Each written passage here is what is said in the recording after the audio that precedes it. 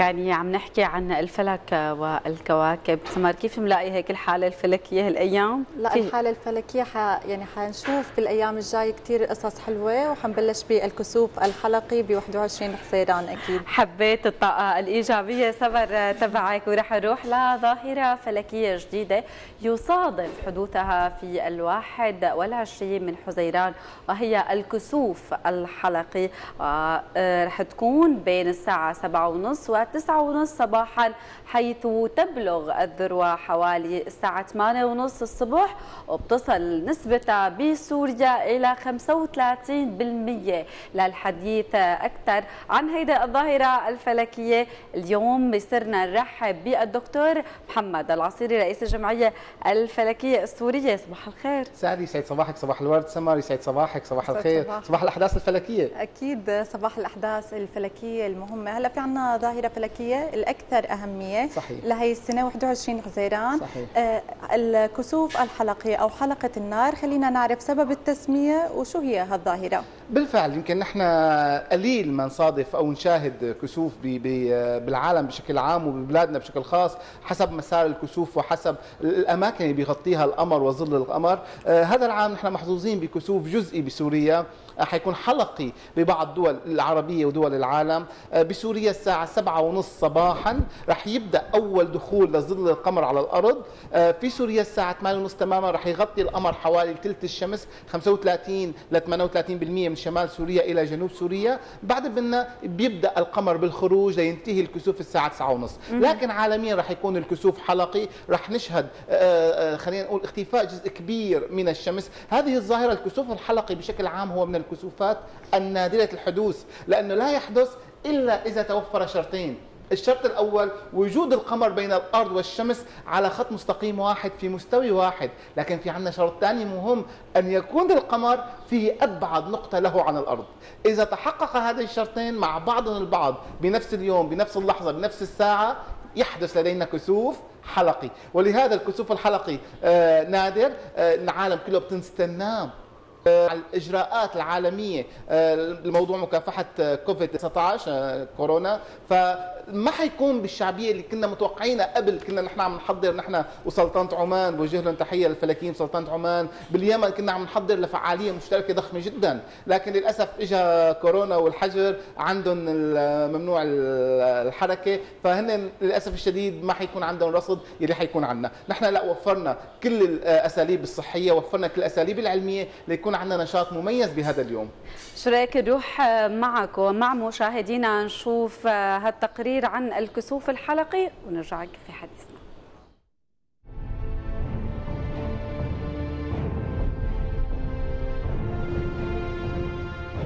سيشهد تاريخ 21 من حزيران ظاهرة فلكية جديدة حيث سيحدث كسوف حلقي للشمس وسيشاهد جزئيا بنسبة تصل ل 35% ويبدأ الكسوف الساعة السابعة والنصف صباحا وبيستمر لغاية التاسعة والنصف صباحا.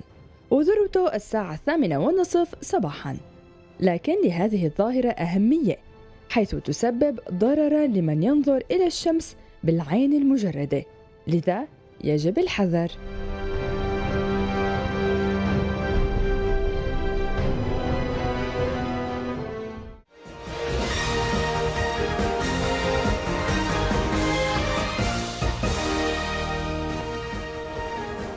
مثل ما تابعنا يا سالي عن الكسوف الحلقي. خلينا كمان نحكي عليه بشكل أكبر. كيف ممكن نحن نشوفه؟ وعم بيقولوا مثلا نحن ما بنقدر نطلع عليه بشكل بشكل يعني فوري نطلع هيك. يمكن إنه هو يسبب العمى. خلينا نحكي عن هاي القصة كمان. بالضبط سمر هي هي النقطة الحساسة بالكسوف. الكسوف عكس أي ظاهرة أخرى. طبعا. كل الظواهر الفلكية كخسوف للقمر كهطل شهابي كمرور مذنب كضربة نيز أي ظاهرة فلكية ممكن نحن ننظر إلى نشوفها نتابعها بدون أي وسائل حماية عدا الكسوف. الكسوف وخاصة الجزئي. كثير دقيق بالكلام خاصة الجزئي. يعني الكلي لما يختفي كامل قرص الشمس ما عاد عندي مشكلة لأنه أساسا ضوء الشمس اختفى. لكن الجزئي واللي بتكون نسبته عالية النظر إلى الشمس يسبب العمى السبب الشمس بشكل عام يوميا أنا ما فيني أطلع عليها بشكل مباشر لأنه وهج الشمس إضاءة الشمس بتخليني لا طبيعيا بلا اراديا إنه بعد وشي بعد عيوني. تمام. ما قدر اتحمل الوهج. وهج الشمس قوي. لكن لما يصير كسوف يبدأ القمر بحجب ضوء الشمس فيسمح للعدسة العينية باستقبال كمية أكبر من إشعاعات الشمس. مثل ما كنا أولاد صغار نلعب بالعدسة ونحرق إيدينا بتصير نعم. العدسة تسلط الضوء على الشبكية فبتبلش الشبكية تحترق. آه، شوي شوي. فبيبلش يظهر معنا بقع سوداء بالعين بالشبكية بتتوسع كل ما استمر الإنسان بالعناد والنظر تتوسع هذه الحروق لتسبب العمى. والعمى بالكسوف ليس مباشر. يعني مو أنا عم اطلع على الكسوف والله ما صار لي شيء لا لا لا. أنا بلش الحرق بيظهر بعد 24 ل 48 ساعة.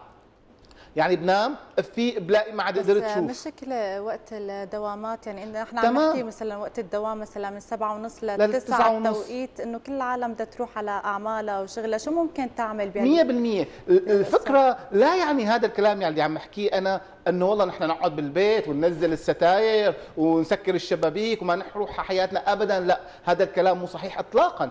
أنا فيني مارس حياتي اليومية بكل طبيعية وبكل أريحية بشرط عدم النظر المباشر إلى الكسوف. أنا فيني أنا ماشي بالطريق أطلع على انعكاس الكسوف على بلور السيارات. فيني أنا وماشي بالطريق إذا بتساعديني سمر بورقتين من عندك. ورقتين إذا بنحملهم. هي ورقه وهي ورقه إذا عملت ثقب بورقة وأسقطت الشمس يسلموا ايديكي إذا هي ورقتين إذا الورقة الأولى عملت لها ثقب بالدبوس براس دبوس بس. وأنا ماشي بالطريق عملت الورقة الأولى على الشمس وعلى الورقة الثانية شفت الكسوف. حلو. ما في أسهل منها. ورقتين بيضاء وفي أسهل منها يعني. كلنا متوفر عندنا الورق الأبيض. طيب ما بدنا هالشيء في عندنا شيء طبعا في بيجوا شغلات حلوة. في عندنا شغلات اسمها نظارات الكسوف. مو النظارات الشمسية النظارات الشمسية ما بتفيد. نعم. أما هي نظارات الكسوف مخصصة. يعني أنا بحطها بكل سلام وأمان وبطلع على الشمس. فكره حلوة. تمام؟ الموضة. صحيح. وهي النظارة فيها مادة. طبعا عدة نظارات. فيها مادة. هي المادة هي بوليمار اسمها مادة آه، آه، خاصة. متوفرة بالاسواق حلو كثير لا تباع توزع مجانا من قبل الجمعية الفلكية السورية، نحن ما بنبيعها لا. كل واحد بيجي نعطيه طبعا وحدة بتكون مختومة. هدول لأنه عم فرجيكم إياهم هن بيجوا بكيس محتوم بيحطها وبيشوف الكسوف بكل أريحية، يعني هو رايح على شغله مثلا ممكن يمر على أي موقع للرصد بالجمعية الفلكية السورية موزع بكل المحافظات معظم.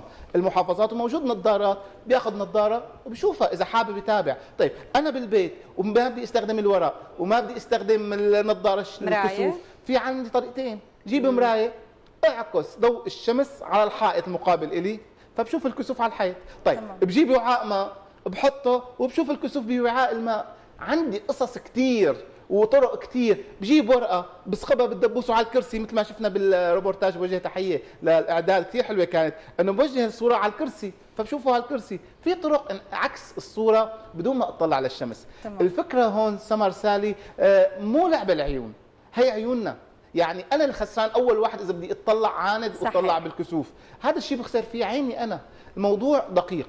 الموضوع قد يسبب العمى الدائم أو العمى المؤقت آه، لأنه أنا عم أطلع بالكسوف لفترة زمنية أطول. هلأ لما يكون الكسوف تحت 30% الإنسان بشكل عام ما حيقدر يطلع لأنه وهج الشمس قوي جدا. لكن لما يتجاوز 30 أو 40% تحديدا 40 و50% هذا بيتيح الفرصة للعين إنه تطلع أكثر هون الخطورة. الكسوف ظاهرة جميلة جدا. حتى للأسف الشديد الفراعنة أجدادنا الحضارة المصرية القديمة ما كانوا يوثقوا الكسوف كانوا يوثقوا حالات العمى الشمسي. يعني كانوا يسموها العمى الشمسي. يربطوا الكسوف بالعمى فيعتبروها إنه ظاهرة شريرة وإنه آمون مثل ما كانوا يعتقدوا غاضب ومعصب وسبب هذه الحادثة. إذا ارتبط الكسوف بحالات العمى. نحن لا صرنا بعصر نحن واعيين تماما. الناس واعية لهذا الموضوع. بكل بساطة أنا بمارس حياتي بكل طبيعية وبكل أريحية وبروح على امتحاني وبروح على شغلي بس ما أطلع على الشمس بشكل مباشر. في عدة طرق عدة وسائل. وهلأ الحمد لله السيارات منتشرة بالطريقة. أنا ماشي ممكن أشوف الكسوف على انعكاس شباك السيارة. حتى ناحيه حلوة. حتنقلوا الكسوف أونلاين من عندكم؟ 100% هلأ هون المشكلة سمر بصراحة. هلأ عندنا نحن طبعا أنا بوجه تحية لوزارة الإعلام. حتكون معنا أكيد بالقنوات السورية. بنقل الكسوف عبر شاشاتنا. كان نحن مستنفرين لنقل ومشاركة الاتحاد الدولي أونلاين بالكسوف. لكن للأسف مثل ما بتعرفوا إنه من الساعة 8 لل 10 امتحانات طلاب الشهادة وشهادتين يمكن البكالوريا يوم الأحد بظن بلا الأحد بكالوريا. فحيكون في قطع للاتصالات بين 8 وال10 فنحن اللي أكثر الناس حتتضرر.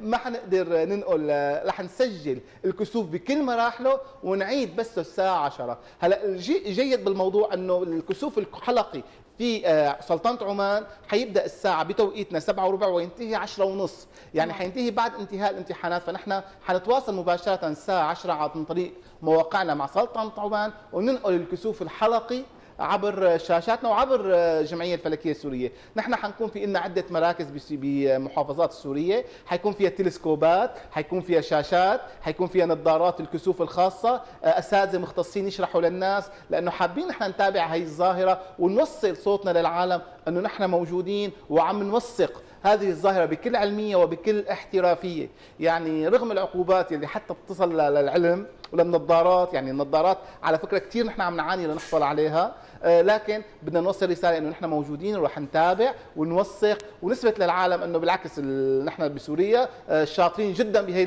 بصنع النظارات أشطر منكم. وفعلا النظارة السورية أخذت جائزة. يعني نحن هي نظارتنا بصراحة هي السورية. هي صناعة سورية والمادة نحن جبناها وصنعناها. بسوريا. هلا هي النظارة تحديدا آه، وكالة ناسا الأمريكية بتصنعها وهي بيصنعها الاتحاد العربي لعلوم الفضاء والفلك. اذا ثلاث نموذجات. نحن صنعنا هي وجبنا هي من آه، مادة جبناها من برا وصنعناها نحن وأضفنا عليها بعض المواد اللي أعطت أفضلية أكثر لنظارتنا. حلو. طبعا هي نحن بتضل بسوريا ما بنخرجها وبنحافظ عليها بشكل كثير كبير لأنه فعلا إحضار المواد شغلة مو سهلة بنوب. أبداً. فنحن عم نحافظ على نظاراتنا للنشاطات القادمة آه عندنا عبور لأنه لسه في عندنا ظواهر فلكية عديدة. فالكسوف جميل جدا إنه نشاهده بالنظارة وبالذات لما نحط النظارة ونطلع على الشمس وهي عم تنكسف منظر منظر من العمر يعني. آه اولا النظارة بتعطينا صورة نظارات الكسوف غير الصورة اللي نحن نتخيلها. يعني نحن هيك نطلع على الشمس نلاقيها صفراء. بالنظارة لا بتعطينا إياها هيك على لونها الحقيقي الأبيض. ولما يدخل الكسوف وبنشوف الحلقات النارية الشعل النارية الطالعة من الشمس وشلون بنشوف البقعة الشمسية ومراحل دخول الكسوف والله يوم لا ينسى سيكون. يعني نحن مترقبينه بحماس وبهمة لأنه فعلا نحن جربنا كسوف سابق وقت عام 1999 وكسوفات لاحقة فمتعة متعة. يعني نحن بنستناها كثير ظاهرة الكسوف. وللأسف كسوف كلي بسوريا لن يتكرر إلا عام 2060 تمام. يعني بيكون عمري كوشة سنوات. فالله يعطيكم ويعطيني طول العمر. اوصل 2060 ونشوف الكسوف الكلي ب 2060 فبعيد كثير الكسوف الجميل اللي حنشهده. وبالتالي رح ننتهز فرصة هذا الكسوف لنتابعه لنوثقه لندرسه لننشر علوم الفضاء والفلك للشباب وللأطفال لخليهم يهتموا. يعني للأسف الشديد مرة من المرات يعني كان يشاع انه الدول بعض الدول العربية بتخاف تعتبر الكسوف لهلأ وفق الأساطير والخرافات. لا نحن عم نأكد إنه نحن ما بنعتبر هذا الشيء نعم هناك بعض الأقوام بالصين بجنوب أمريكا ما زالوا يطرقون على الطبول والطناجر والأوعية لجعل التنين يهرب من التهام الشمس. لكن عندنا نحن لا ما في هالشيء نحن عندنا في رصد للكسوف بشكل علمي مضبوط ودقيق. نعم. فعلا هي قصص حتى اليوم نحن بنوثقها وبنصورها. يعني حتى اليوم ما زال هناك اعتقاد في الصين وللأسف الشديد امبارح كانوا عم يحكوا فيه إنه التنين رح يلتهم الشمس. نحن لازم نعمل ضوضاء. اصوات لحتى يهرب التنين من الشمس. قبائل أمريكا الجنوبية حتى اليوم يمتنعون عن الخروج من بيوتهم. ما بياكلوا ما بيشربوا نعم. ما بيتمارسوا أي نوع من أنواع يعني ما بيقوموا من مكانهم. خوفا من الشمس لأنه بيعتبروا الكسوف هي حالة لعنة من الشمس على الناس ولذلك لازم يحترموا الشمس يضلوا قاعدين لحتى يخلص الكسوف مشان ترجع الحياة لطبيعتها وما تزعل منهم الشمس. وبيخوفوا أولادهم كمان. اللي عم يعذبوا صحيح. ومن الملاحظ كمان كمان ذكرتيني سالي بتخويف الاولاد آه، في مثل بنقوله نحن بسوريا كثير إنه والله لفرجيك نجوم الظهر. هذا معروف إنه بدي فرجيك نجوم الظهر يعني الاب لما يقول له لابنه هالشيء يعني بيعاقبه. انه كثير معصب تماما. أكيد. بيعاقبه بتعرفوا إنه نجوم الظهر هي ظاهرة فعليا علمية حقيقية ومثبتة وتظهر حقيقة وقت الكسوف الكلي.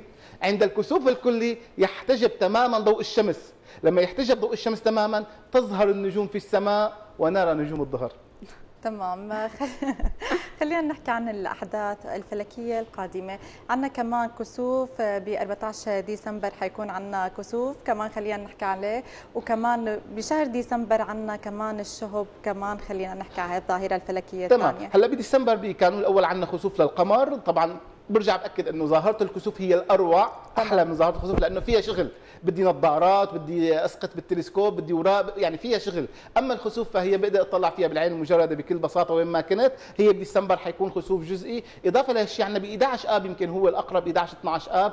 ظاهرة الهطل الشهابي الجميل جدا هذا العام. حتمر الأرض بزين مذنب ببقايا مذنب. راح يصير في ألعاب نارية بالسماء من الظواهر الفلكية الممتعة. حتى في ظاهرة كل 20 سنة لتطلع مرة هو اقتران كوكب زحل مع المشتري كمان إنه هي كل 20 سنة لتيجي تمام. مرة. أنا كنت أصلت فعلا 100% كلامك سمر صحيح. إذا الهطل الشهابي وبعدين عندنا اقترانات الكواكب عندنا زحل والمشتري بالسماء الآن يتألقان بشكل جميل جدا. وخاصة اليوم بعد غروب الشمس عم يلاحظوا الناس في نجمة لامعه جدا بالاتجاه آه، الشرقي آه، للأرض. هذا الاتجاه الشرقي هو موقع كوكب الزهرة. الآن كوكب الزهرة لامع جدا. عندنا بالاتجاه المقابل تماما زحل والمشتري في شكل جميل جدا. اذا عندنا فعلا سلسلة من الأحداث والظواهر الفلكية خلال النصف الثاني من عام 2020 بتوقع ما زال أنا بالنسبة لي الأروع هو كسوف الشمس 21 حزيران آه، يمكن هي اللي حتكون أكثر اهتماما عالميا. لكن كمان الخسوف ما ننسى والهطل الشهابي رح أذكركم فيه أكيد إن شاء الله بوقته ب 11 آب. لأنه كمان ممتع إنه نحن نشاهده ونتامل الشهب ونشوفه وهي عم تتساقط هيك بطريقة كثير جميلة.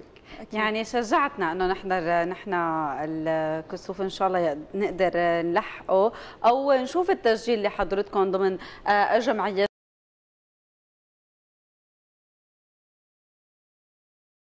الفلكية حتقوموا فيه حديثنا يطول معك ولكن وقتنا خلص. نتمنى لك التوفيق وإن شاء الله يا رب جميع الأحداث الفلكية تكون بمنحى إيجابي ومؤثر إيجابا على كوكب الأرض. أكيد أكيد ساري يسعد صباحك أنت وسمار وأكيد بحذر وبأكد عدم النظر للكسوف الجزئي بسوريا يوم 21 حزيران أكيد ناطرين الظاهره الفلكية المهمة بنتمنى لك التوفيق. شكرا لوجودك معنا. شكرا.